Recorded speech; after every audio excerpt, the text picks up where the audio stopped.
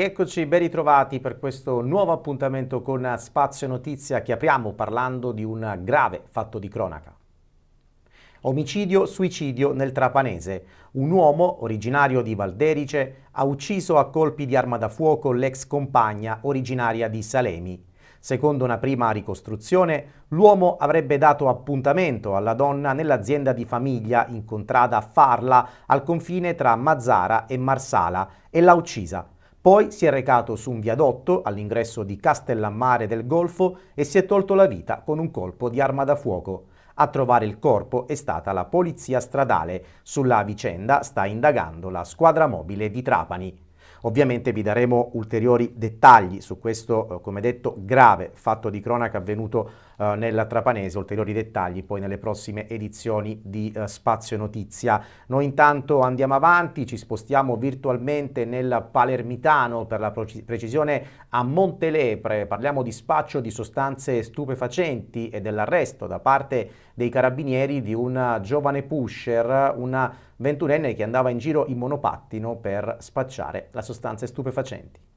I carabinieri della compagnia di Partinico hanno arrestato un ventunenne con precedenti di polizia con l'accusa di detenzione e spaccio di sostanze stupefacenti. Nel corso di un servizio di controllo del territorio, i militari della stazione di Montelepre hanno proceduto alla perquisizione del giovane che è stato fermato alla guida di un monopattino elettrico.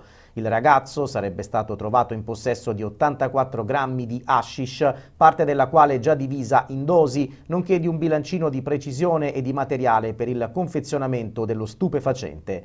La droga rinvenuta è stata sequestrata e trasmessa al laboratorio di analisi delle sostanze stupefacenti del Comando Provinciale di Palermo per gli accertamenti qualitativi e quantitativi. L'arrestato, su disposizione della Procura della Repubblica presso il Tribunale di Palermo, è stato ristretto ai domiciliari in attesa dell'udienza di convalida, al termine della quale il giudice per le indagini preliminari ha disposto per lui l'obbligo di dimora nel comune di residenza. Cambiamo decisamente argomento, ci spostiamo a Taormina, il consigliere comunale Francesca Gullotta dice no alla vendita della Badia Vecchia, un uh, bene storico del comune di Taormina e per questo inalienabile. L'ha intervistata per noi Mauro Romano. Vendita della Badia Vecchia sì o no? Siamo qui con il consigliere comunale Francesca Gullotta. Cosa ne pensa di questa decisione dell'amministrazione attiva? Beh, intanto non sono assolutamente d'accordo per diverse ragioni. La prima è sicuramente quella che la Badia Vecchia è un bene monumentale, architettonico, storico di alto valore, anzi di incommensurabile valore, e come tale non può essere chiaramente alienato. Lo si riscontra questo anche nella scheda dell'inventario del comune di Taormina, da dove si rileva che questo bene è stato acquistato dall'ex sindaco Eugenio Longo nel lontano 1958 ed è stato acquistato per 12 milioni di lire, ma sicuramente, come detto prima, il suo valore è sostanzialmente simbolico ed è comunque un bene vincolato e come tale non può essere alienato, cioè non può essere venduto. In tal senso la sua è una funzione chiaramente pubblica e non può essere sottoposta a vendita alcuna. Quindi già questo ci porta a pensare che la scelta fatta da questa amministrazione sia di fatto sicuramente non condivisibile. In più ci sono motivazioni di ordine storico e anche, diciamo, affettivo.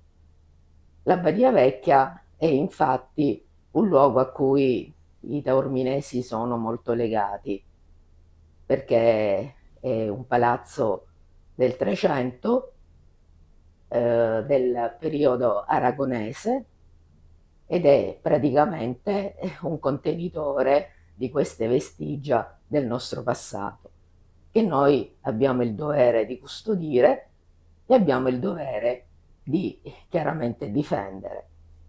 A questo palazzo siamo legati anche da, una, da un sentimento religioso, mi permetto di dire, perché in questo palazzo, eh, nel suo pozzo, sono state trovate due icone bizantine molto importanti per i taorminesi.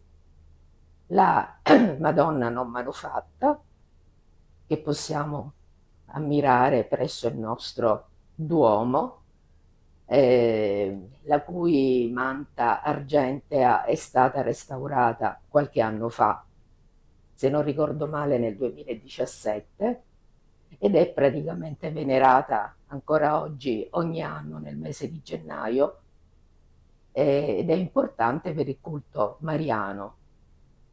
E, e poi anche un'altra bellissima icona bizantina che è la Madonna col bambino che potete ammirare, che possiamo ammirare tutti presso uh, la sala Giovanni di Giovanni nella ex chiesa di Sant'Agostino.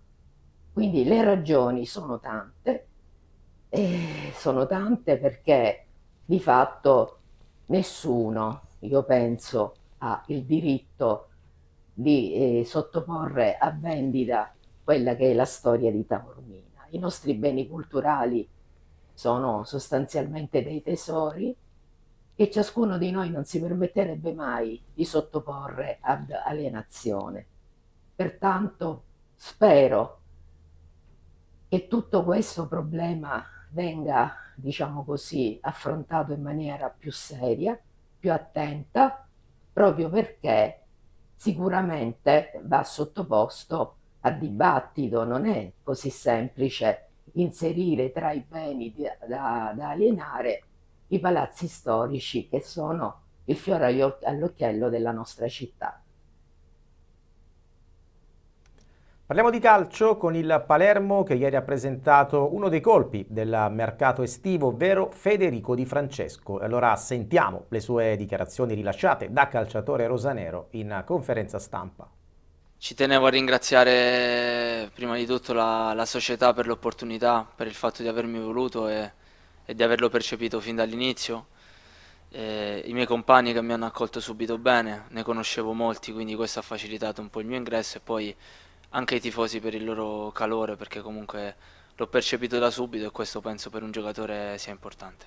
Penso che gli stimoli, l'ambizione siano per un calciatore la cosa più importante. Io da quando ho parlato col Palermo ho percepito subito la voglia e quell'ambizione di una società che vuole crescere, che sa che comunque la Serie B è un campionato duro ma che ha la volontà e la voglia di fare un campionato per essere competitivi, per riuscire a centrare la promozione in Serie A.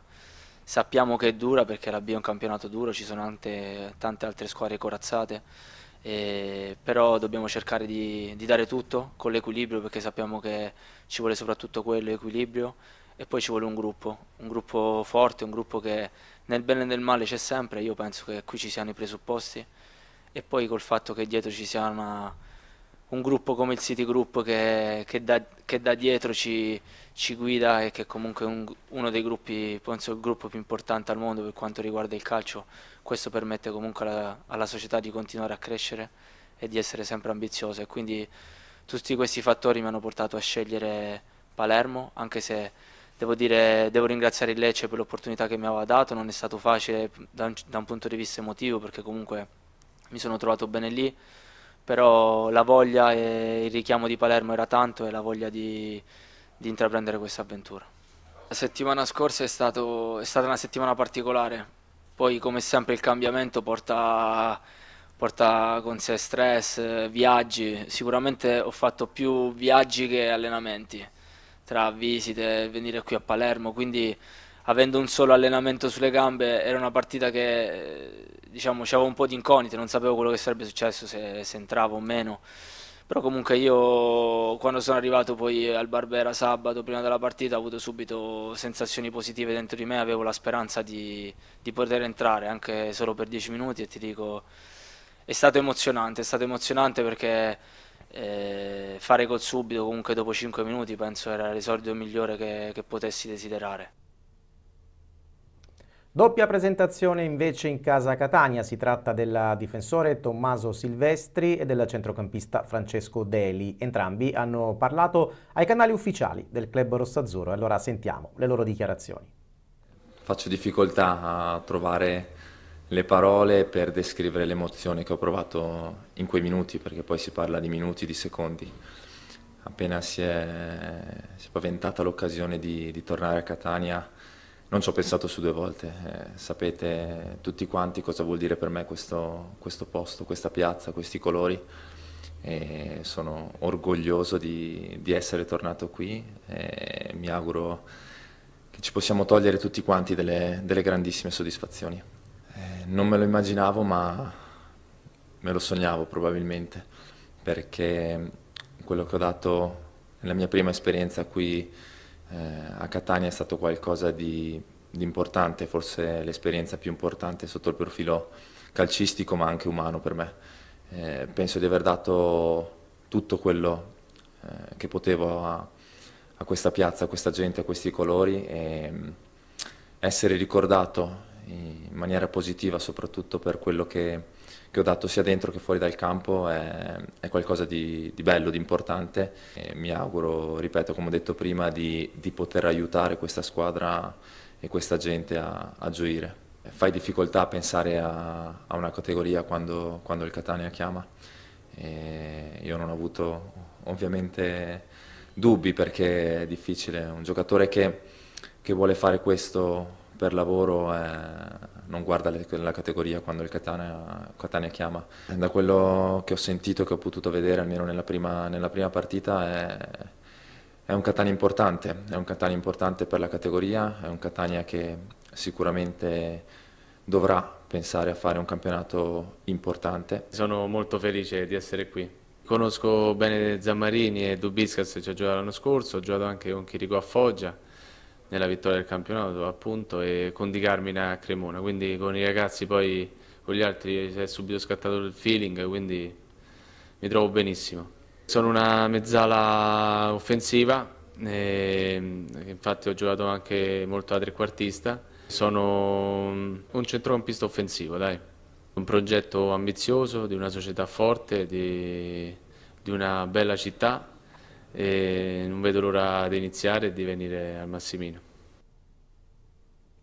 Grande soddisfazione e grande riconoscimento per Novara di Sicilia. Il celebre gioco del Maiorchino è stato infatti iscritto nel registro UNESCO. Importante riconoscimento per il gioco del maiorchino che consiste nel lanciare, proprio come si fa con una ruota, la tradizionale forma di formaggio lungo una strada in discesa del borgo di Novara di Sicilia in provincia di Messina. Il Ministero della Cultura lo ha iscritto, insieme a 27 giochi antichi italiani facenti parte del Tocatì, nel registro delle buone pratiche di salvaguardia del patrimonio culturale immateriale UNESCO, unico gioco siciliano insignito. La consegna del riconoscimento è avvenuta nei giorni scorsi a Roma. Alla cerimonia hanno partecipato i soci dell'associazione Circolo Sportivo Olimpia il Maiorchino con il presidente Angelo Di Pietro, Salvatore Bartolotta, socio anche dell'associazione Giochi Antichi di Verona, la presidente della Proloco Angela Puglisi e il vice sindaco Salvatore Buemi. Il percorso UNESCO è iniziato nel novembre del 2016 e ha lo scopo di favorire la reciproca conoscenza di tante comunità ludiche praticanti giochi e sport tradizionali in Italia e nel mondo. L'associazione veronese ha costruito nel tempo, attraverso il festival, una rete a livello nazionale e internazionale che coinvolge, oltre l'Italia, il Belgio, la Croazia, Cipro e la Francia. Il percorso di candidatura si è concluso il 3 dicembre 2022 in Marocco, dove la rete del Tocati è stata riconosciuta come patrimonio UNESCO e di conseguenza iscritta nel registro delle buone pratiche di salvaguardia del patrimonio culturale immateriale. Il lancio del Maiorchino è stato iscritto anche alle associazioni europea e internazionale dei giochi e degli sport tradizionali. Ci fermiamo qui, è tutto, ma ci ritroviamo più tardi per una nuova edizione di Spazio Notizia. A dopo.